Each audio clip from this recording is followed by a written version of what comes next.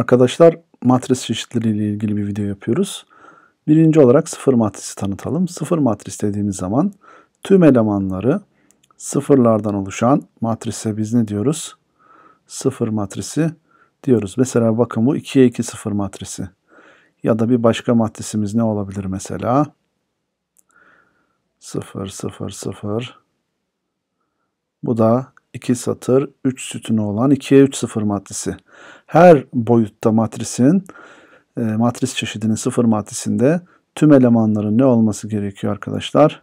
Sıfır olması gerekiyor. Bakın mesela bu da nedir? 1'e 2 tipinde sıfır matristir diyoruz. Sıfır matrisinin özelliği toplamada etkisiz olması. Yani A matrisi ile sıfır matrisini toplarsak buradaki A matrisiyle karışmasın. Yani herhangi bir mesela M matrisi olsun diyelim. M matrisimiz var ve sıfır matrisimiz var. Bunu toplarsak ne yapacaktır yine? M matrisini elde edeceğiz. Yani mesela bir örnek yapalım basitçe. 2, 3, 1, 4, 2'ye 2'lik bir matrisimiz var. Ve bizim 0, 0, 0, 0 yani 2'ye 2, 0 matrisimizi topladığımızda ne olacaktır? Çok doğal olarak madem 0 matrisi etkisiz eleman bu şekilde ne yapabiliyoruz? ifade edebiliyoruz arkadaşlar. Uygun şartlarda çarpma işleminden de bahsedelim. Çarpma işleminde de bir M matrisi ile 0 matrisini çarptığımız zaman eğer bu çarpma mümkün olabiliyorsa cevabımız 0 matrisi olacaktır. Yukarıdaki iki matrisi çarpabiliyoruz. 2, 3, 1, 4 matrisi ile ne yapalım? 0 matrisimizi çarparsak çarpım tüm elemanları 0 olacağı için 0, 0, 0, 0 ne yapacaktır? Yapacaktır diyoruz arkadaşlar. İkinci olarak kare matrislerden söz edeceğiz. Arkadaşlar bir matrisin boyutundan bahsettiğimiz zaman mesela M çarpı N tipinde bir matristen bahsettiğimiz zaman buradaki M satır sayısını verecek matrisin. Buradaki N ise matrisin sütun sayısını verecektir.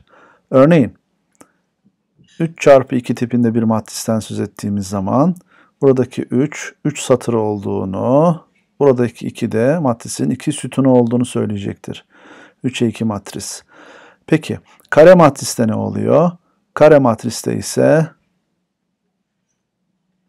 M eşittir ne oluyor arkadaşlar? Yani ne kadar satır varsa o kadar da sütun oluyor. Örneğin 2 çarpı 2 gibi. Örneğin 3 çarpı 3 gibi. Mesela bir kare matris örneği yazalım. A matrisimiz 2, 3, 1, eksi 1 şeklinde verildiğini düşünelim.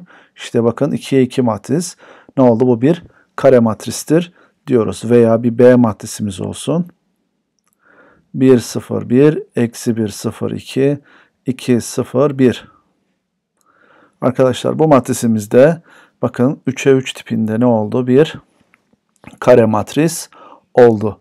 Değerli arkadaşlar, kare matrisinin önemli özelliklerinden bir tanesi şu. Determinant A olabilmesi için yani bir matrisin determinantından söz edebilmemiz için matrisin ne olması gerekiyor? Kare olması gerekiyor. Kare matrislerde sadece determinant vardır. İkinci olarak A ters. Bir matrisin tersinin var olabilmesi için yine ne olması lazım arkadaşlar? Kare matristen söz ediyor olmamız lazım. Dolayısıyla kare olmayan bir matrisin nesinden söz edilemez? Determinantından ve tersinden söz edilemez arkadaşlar. Üçüncü olarak köşegen matrislerden bahsedeceğiz. Köşegen matrisi tanımlamadan önce esas köşegen diye bir şeyden bahsetmek istiyorum. Örneğin elimizde 1, 2, 3, 4 elemanlı bir neyimiz olsun? Kare matrisimiz olsun. Bu kare matrisimizin esas köşegeni dediğimiz yer tam olarak sol üstten başlayıp sağ alt köşeye doğru giden ve oradaki elemanları ihtiva eden köşegene biz ne diyoruz? Esas köşegen diyoruz. Veya mesela bir 3'e 3 matriste elemanlarımızın olduğunu düşünün. Esas e, köşegenimiz neresi olacaktır? Esas köşegenimiz yine sol üstten başlayacağız. Sağ alta kadar gittiğimiz ne olacak? Elemanlarımız olacaktır. Bakın mesela esas köşegeni anlatacak biraz da sayısal bir örnek verelim. 2, 3, 4, 5 diyelim. Buradaki esas köşegenimiz ne olacak arkadaşlar? Üzerindeki elemanlarımız 2 ve 5'ten oluşacak. Yani buradaki elemanlar kimlerdir matrisin ifadesiyle? A11, A22, A33 ve bu şekilde satır ve sütun sayıları eşit olan elemanların bulunduğu pozisyonlara biz ne diyoruz? Buraya esas köşegen diyoruz. Peki köşegen matris nedir arkadaşlar? Şöyle tanımlıyoruz. Esas köşegen haricindeki tüm elemanları sıfır olan matrislere köşegen matris diyoruz arkadaşlar. Bir örnek yapalım. Mesela şöyle bir matrisimiz olsun. A matrisimiz 2, 0, 0, 4. Bakın esas köşegenimiz neresi? Esas köşegenimiz burası. Esas köşegen haricindeki elemanlarımız 0 mı? Evet. O zaman bu bir nedir arkadaşlar? Bu bir köşegen matristir diyoruz. 3'e 3 bir örnek yapalım. Bir B matrisimiz olsun. 2 0 0 0 3 0 0 0 ve mesela 4 olsun. Bakın arkadaşlar bu da yine esas köşegen üzerindeki elemanlarına bakıyoruz. Daha doğrusu esas köşegenin haricindeki elemanlara bakıyoruz. Esas köşegenin haricindeki elemanlarımız sıfır olduğu için buna yine ne diyoruz? Bir köşegen matristir diyoruz arkadaşlar. Yalnız burada küçük bir uyarıda bulunacağım. O yüzden sayfayı biraz aşağıya kaydırayım. Bakınız. Şimdi bir C matrisi verelim size. 2, 0, 0, 0. Yani fazladan burada esas köşegenin üzerinde de 0 var. Bu bunun köşegen matrisi olmasına engel midir? Hayır engel değildir arkadaşlar. Biz esas köşegen üzerinde ne olduğu ile ilgilenmiyoruz. Sadece haricindeki yerlerin sıfır olması ile ilgileniyoruz. Dolayısıyla esas köşegen üzerindeki elemanlar sıfır olmuş olmamış bizi ilgilendirmez. Ne diyoruz? Burada bu yine bir köşegen matristir diyoruz arkadaşlar. Hocam o zaman siz diyorsunuz ki şu matris de köşegen matristir. Evet, bu bir sıfır matrisi arkadaşlar. Sıfır matrisimiz de yine bir köşegen matristir. Çünkü esas köşegen üzeri beni ilgilendirmiyor. Haricindeki elemanlar sıfır olduğu için bu da yine bir köşegen matris olacaktır arkadaşlar. Evet, hazır köşegen matrisleri bu kadar incelemişken biraz da köşegen matrislerin determinantından ve tersinden basitçe bahsedelim. Mesela bir E matrisimiz olsun. E matrisimiz 2, 0, 0, 0, 3, 0, 0, 0, eksi 1 diyelim. Evet bu bir köşegen matris mi? Yukarıdaki öğrendiklerimize göre evet. Peki bu matrisin E matrisinin determinantı nedir diye soracak olursak köşegen matrislerin determinantını bulmak çok kolay arkadaşlar. Köşegen üzerindeki elemanları 2 çarpı 3 çarpı eksi 1 şeklinde çarpıyoruz. Ve bu çarpımın sonucu ne oluyor arkadaşlar? E maddesinin determinantı oluyor. Peki şu hemen yukarıdaki A, B, C, D maddesinin determinantlarını da tartışalım. A maddesinin determinantının 8 olduğu 2 çarpı 4'ten görülüyor. B maddesinin determinantının 2 çarpı 3 6 çarpı 4'ten 24 olduğu, C maddesinin determinantının 0 olduğu ve D maddesinin de yine determinantının 0 olduğunu görebiliyoruz. Peki determinantı bu şekilde köşegen matrisler için anlattık. Bir de ters matristen bahsedelim. Örneğin bir F matrisimiz olsun. 2, 0, 0, 6. Arkadaşlar bu matrisimizin köşegen matrisimizin determinantını bulmak çok kolay arkadaşlar. Determinantını değil özür dilerim. Tersini bulmak istiyoruz değil mi? Tersini bulmak çok kolay. F matrisinin tersi şu şekilde bulunabiliyor rahatlıkla. Ee, köşegen üzerindeki elemanların 1 bölü hallerini yazıyoruz. Yani 1 bölü 2, 0, 0, 1 bölü 6 yazdığımız anda F maddesinin tersini bulmuş oluyoruz. Eğer köşegen üzerindeki elemanlardan bir ya da birden fazlası sıfırsa o maddesinde tersinin olmayacağını 1 bölü 0 yazamayacağımızdan anlayabiliriz. Yani ne demek istediğim şöyle anlatayım. Bir G matrisi tanımlayayım arkadaşlar. G matrisim 2, 0, 0, 0 olsun. Bu G matrisinin nesi yok arkadaşlar? Tersi yoktur. Bunun sebebi de iki köşegen üzerindeki elemanlardan birinin sıfır olmasından gelmektedir diyoruz. Dördüncü olarak alt üçgen matris ve üst üçgen matristen bahsedeceğiz. Alt üçgen matrisin tanımını verelim arkadaşlar. Alt üçgen matris esas köşegen üzerindeki esas köşegenin üzerindeki yani esas köşegenin üstündeki üzerindeki tüm elemanları ne olan? Sıfır olan matristir arkadaşlar. Hocam nasıl bir şeydir alt üçgensel matris? Alt üçgen matris şu şekilde ifade edelim. Esas köşegenimiz var. 1, 2, 3 mesela. Burası eksi 1, 0, 2 olabilir.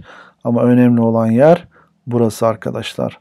Alt üçgen matriste esas köşegenin üzerinde kalan yani şuradaki arkadaşlarımızın ne olması bekleniyor?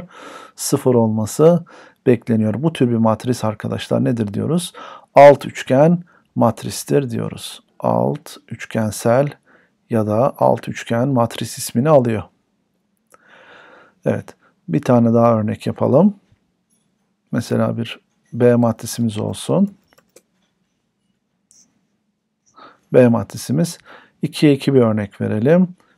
3, 0, 4, 5. Bakın yine esas köşegen üzerindeki kalan elemanlar bir tane eleman var. O da 0 olduğu için yine bu da nedir? Bir alt üçgen matristir diyoruz. Diğer taraftan burada üst üçgen matrisi de tanımlayalım. Bu da esas köşegen nin altındaki tüm elemanları sıfır olan matris diyoruz. Hemen buna da bir örnek yapalım. Nasıl olacak? Esas köşegenimiz var yine. Bunun üzerinde eksi 1, 0, 5 gibi elemanlarımız olunabilir. Ama ne olacak? Altında kalan şuradaki arkadaşımız yani esas köşegenin altında kalan elemanları sıfır olan matrise biz ne diyoruz? Üst üçgen matris diyoruz. Mesela bir 2'ye 2 örneğini verelim. Şöyle kapatmamışız. B matrisimizde mesela eksi 1, 2, 4, 0. Yani esas köşegenin altında kalan elemanların sıfır olduğu bir matriste bu şekilde ne yapmış oluyoruz? Bunların ikisi de arkadaşlar üst üçgen matris oluyorlar diyoruz. Peki bunların determinantları ile alakalı bir yorumda bulunalım arkadaşlar. Üst üçgen matrisin ve alt, üç, alt üç, üçgen matrisinde üst üçgen matrisinde determinantını bulmak çok kolay. Hemen şöyle göstereyim arkadaşlar. Mesela buradaki A matrisimizin determinantını tartışacak olursak bu A matrisimizin determinantı esas köşegen üzerindeki elemanların çarpımıyla bulunuyor. Yani bir manada köşegen matrisin determinantına benziyor. Üst üçgen veya alt üçgen olan bir matrisin determinantı esas köşegen üzerindeki elemanların çarpımı. O halde B'nin determinantı da nedir arkadaşlar? 3 kere 5 15'tir. Burada yine A'nın determinantını hızlıca görelim. A'nın determinantı yine esas köşegen üzerindeki 2 çarpı 3 çarpı 4'ten ne olacaktır? 24 bulunacaktır diyoruz. Beşinci olarak birim matrisi tanıyacağız arkadaşlar. Birim matris şu şekilde ifade ediliyor. I ile gösteriliyor. Birim matriste esas köşegen üzerindeki elemanları 1, diğer elemanları 0 olan matris. Yani aslında özel bir çeşit köşegen matristir. Özel bir çeşit kare matristir aynı zamanda. Hem alt üçgensel matristir, hem üst üçgensel matristir, hem köşegen matristir, hem kare matristir. Birim matris bunların hepsine uyar.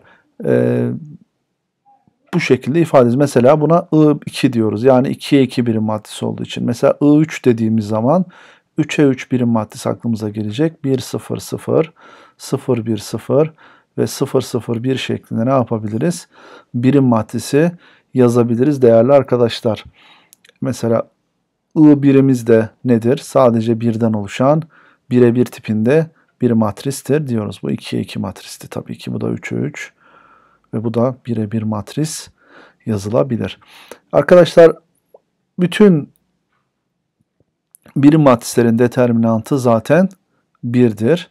Birim matrislerin tersi kendisidir yani birim matristir. 2'ye 2 birim matrisin tersi de kendisidir. 3'e 3 birim matrisin tersi de kendisidir. Başka nasıl bir özellikten bahsedebiliriz? Bir A matrisi ile birim matrisi çarpsak veya birim matrisle A matrisini çarpsak fark etmez. Ne olacaktır cevap? Her zaman birim matris olacaktır. Evet başka nasıl bir bilgimiz var? Bir matrisle tersini çarptığımızda da elde ettiğimiz matris işte o meşhur birim matris olmaktadır değerli arkadaşlar. Başka verebileceğim burada birim matrisin karesi de, birim matrisin küpü de, birim matrisin eninci kuvveti de hepsi de ne olacaktır sonunda? Yine birim matris olacaktır diyoruz. Birim matrisle ilgili bu kadar bilgi zannediyorum şimdilik yeterlidir. Altıncı matris çeşidimiz simetrik matris. Simetrik matrisler nasıl matrislerdir? Ee, şöyle anlatayım. İsterseniz önce transpozdan bahsedelim. Transpoz. Bir matrisin transpozu satırları sütun sütunları da satır yapan bir işlemdir. Örneğin bir A matrisi verelim. 1, 2, 3, 4 olsun. A transpoz ne olacaktır? Birinci satır 1, 2 idi. Artık bu birinci satır birinci sütun olacaktır. İkinci satır 3, 4'te birinci değil ikinci sütun olacaktır. Birinci satır birinci sütun, ikinci satır ikinci sütun olmuş oldu arkadaşlar. Transpoz. Peki simetrik matris nedir? Simetrik matris A transpozla A'nın eşit olduğu matris çeşididir arkadaşlar. Yani bir matrisi transpozunu devriğini alıyorsunuz ama yine de değişmiyor. Evet bu tür bir matris nasıl yazalım? Bir tane örneğini yapalım mesela. Bir A matrisimiz ne olsun? 2'ye 2 örnekten başlayalım. 1, 3, 3, 5. Bakın arkadaşlar bu bir simetrik matristir. Önce transpozunu alarak gösterelim. Birinci satır birinci üstün oldu. Yine değişmedi. Ve yine bu da değişmeyecek. Demek ki transpozu kendisine eşit olduğu için bu matrise ne diyoruz? Simetrik matris diyoruz. Hocam peki simetrik matrisi bu transpoz işine girmeden tanıyamaz mıyız? Tanıyabiliriz tabii ki. Bakın şöyle esas köşegeni işaretleyelim. Esas köşegene göre bir simetri varsa matriste o matrise biz simetrik matris diyoruz daha pekişsin diye isterseniz bir 3'e 3 matrisi örneğiyle olayı gözlemleyelim. 1, 4, 7. Bu arada esas köşegen üzerinde ne olduğunun da bir önemi yoktur. Önemli olan buralarda simetriyi sağlamaktır. Mesela burası 3 ise burası 3. Burası 5 ise burası 5 ve burası 2 ise burası 2 olduğunu şu şekilde hemen işaretliyorum. Esas köşegen üzerindeki elemanları geri kalan yerlerde bir simetri var. Demek ki ne diyoruz? B bir simetrik matristir diyoruz değerli arkadaşlar. Evet. Yedinci çeşit ve son çeşit matris e, çeşidimiz ters simetrik matris. Ters simetrik matriste arkadaşlar özellik şu. A transpozun eksi A'ya eşit olması gerekiyor. Yani matrisin transpozunu aldığımızda simetrik matrislerde direkt A'ya eşit oluyordu. Ters simetrik matrislerde eksi A'ya eşit olmak zorunda. Değerli arkadaşlar şöyle bir örnek vereyim. A matrisimizi şöyle seçeceğiz. 0, 0, e, eksi 2 ve 2. Bakın arkadaşlar bu tür bir matrisin transpozunu aldığımız zaman A transpoz ne yapacaktır? Birinci satır birinci sütun olacaksa 0 eksi 2. Ondan sonra burası da ne olacaktır? İkinci satırda ikinci sütun olacaksa 2 0. Bu görmüş olduğunuz ikinci bulduğumuz matris ilk matrisimizin negatifidir, eksi katıdır. Ha. Yani hocam şöyle mi yapacağız? Bir ters simetrik matris yazınız derlerse birinci kural esas köşegen üstüne bir kere sıfırları yerleştireceğiz. Sonra simetrilerde burası 3 ise burası eksi 3, burası 4 ise burası eksi 4, burası 2 ise burası eksi 2 şeklinde ne yapıyoruz? Arkadaşlar esas köşegenlerimize 0, sonra da negatif birbirine negatif olan sayıları da yine simetrik yerlere yerleştiriyoruz. Ve bu şekilde ters simetrik matrislere ne yapmış oluyoruz? Ulaşmış oluyoruz. Bazı sorularda mesela şunu yazar. A transpoz artı A eşittir 0 diye başlar soruya. Buradan buradan bizim neyi çekmemiz gerekiyor? Bunun ha, bu ters simetrik matrisi kastediyor. Bunu anlamamız gerekiyor değerli arkadaşlar. Umarım videolarımızı beğenmişsinizdir. Eğer beğeniyorsanız lütfen e, beğene tıklayın ve kanalıma abone olun. Kanalım daha da büyüsün. Ben de daha çok motivasyonla daha çok videolar çekmeye devam edeyim.